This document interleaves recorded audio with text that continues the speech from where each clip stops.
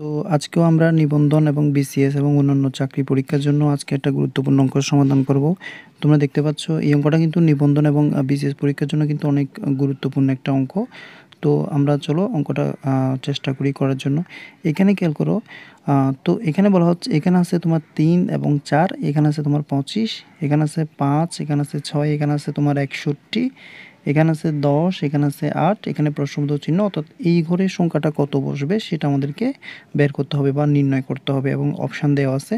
তো মূলত এই সংখ্যাটা কীভাবে আসছে সেটা যদি আমরা বের করতে পারি তাহলে বাকিগুলো অনায়াসে মিলে যাবে। নিশ্চয়ই এটার সাথে, এটা, এটার সাথে এই এই কাজগুলো কিন্তু রিলেটেড রয়েছে। তো তার মানে হচ্ছে, অর্থাৎ আমরা এটা করতে হবে ঠিক এইভাবে যে আমরা যদি তোমার থ্রিকে যদি স্কোর করি, তাহলে কী হয় দেখো? থ্রিকে যদি স্কোর করি, তাহলে হবে নয়। আর তোমার ফোরকে যদি স্কোর করি, তাহলে হবে কত? সিক্সটিন তাহলে দেখো থ্রিকে যদি স্কোর করি, তাহলে হবে নয়। আর ফোরকে স্কোর করলে হবে কত? ষোলো। ঠিক আছে? তাহলে এই নয়ের সাথে ষোলো আমরা যদি যোগ করি, তাহলে আমাদের পঁচিশটা চলে আসবে। তার মানে এখানে যে দুটো সংখ্যা দেওয়া আছে, সে দুটো সংখ্যাকে বর্গ করলে যেই সংখ্যাটাগুলো আসবে, সেই সংখ্যাগুলো যোগফল হচ্ছে এই সংখ্যাটা। দেখো এটা মিলে কিনা?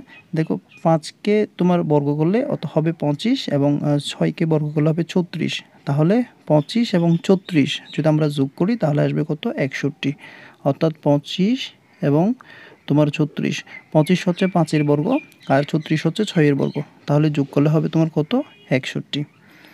তাহলে ঠিক একইভাবে এই সংখ্যাগুলোকে বর্গ করতে হবে।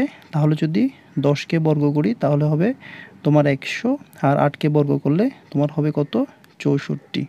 তাহলে আমাদের যোগফল হচ্ছে কত? একশত চৌষট্টি। তার মানে এখানে খালি করে বসবে কত? একশত চৌষট্টি। আমাদের এই অপশান কটা হচ্ছে আমাদের রাইট আনসার আশা করছি বুঝতে পেরেছ। দেখো, এই ধরনের গুরুত্বপূর্ণ অঙ্ক পাওয়ার জন্য তোমরা কিন্তু আমাদের চ্যানেলটাকে সাবস্ক্রাইব করে রাখতে পারো এবং এই ধরনের অনেকগুলো অঙ্ক আমাদের চ্যানেলে রয়েছে। তোমরা কিন্তু আমাদের প্লেলিস্টটা চেক আউট করতে পারো।